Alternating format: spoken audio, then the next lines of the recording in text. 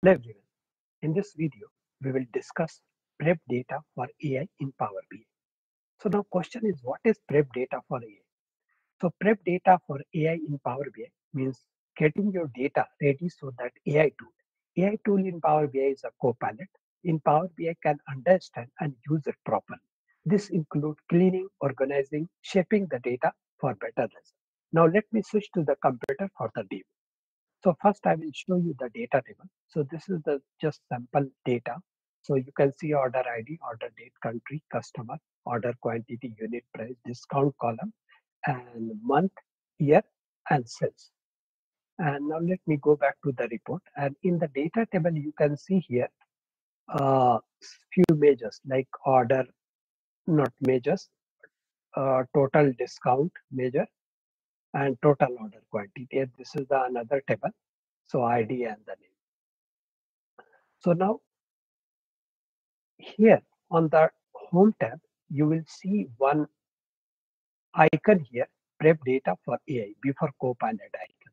So now I will click on this prep data for AI icon and we'll see what are the options are available.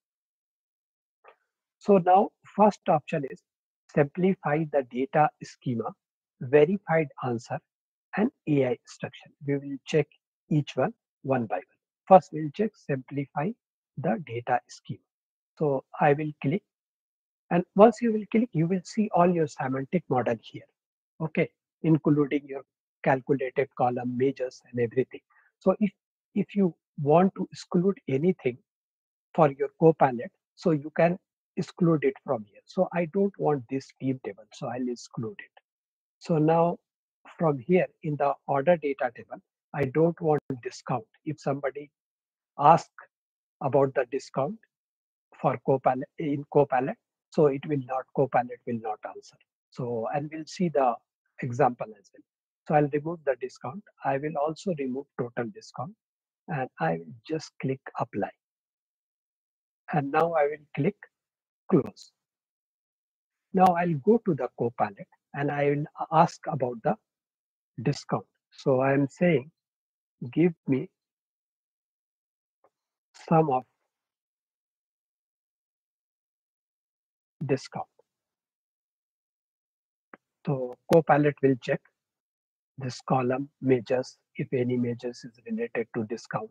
So we have excluded the discount, sum of discount column measures also and the column also. So it will not give any result. So we'll see what it is returning.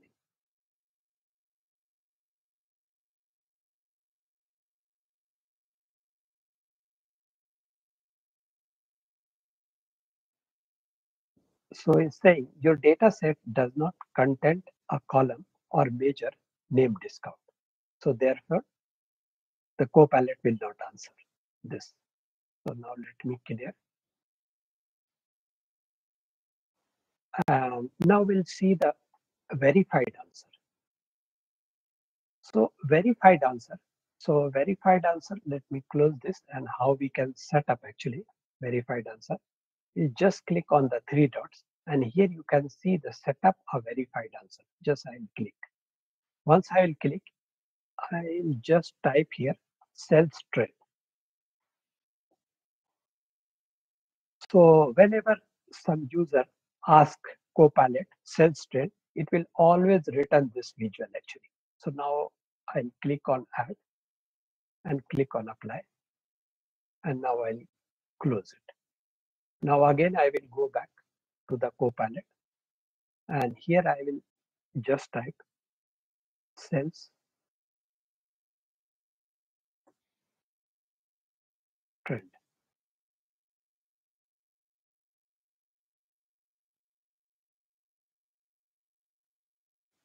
So it will always return this visual. So you can see here the same visual. If I'll add to this page, so you can see same visual. Okay. Now let me remove it from here. Now we'll see last option, AI instructions. Okay. So AI instruction is something, let me copy paste AI instruction.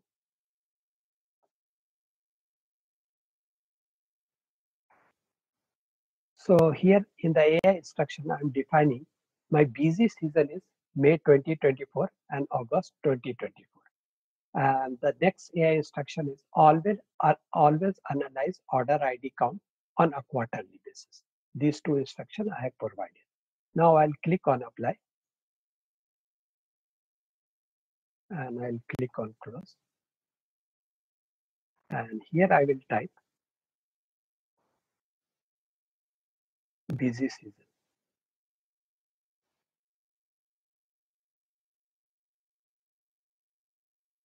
So let's see what is the outcome.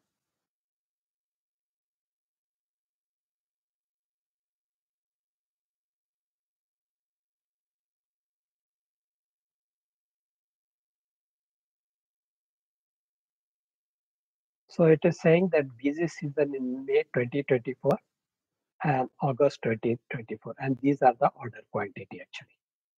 You can see this is the sum of order quantity if I click here. And we have we have mentioned in the AI instruction. So May and August is my busy season. Now another one is another instruction. What was the another instruction? Analyze order ID count. So I'll just clear this and I'll say I'll just press analyze the order ID count on always on quarter. So here I'm saying analyze always analyze order ID count on a quarter quarterly basis. So it will return a order ID count on quarterly basis. So you can see here uh, year quarter year quarter. So it is let me add this to ending page. So you can see quarter wise order count. So this is the order count. So that's all for this video and I request you to please subscribe my channel. Thank you for watching.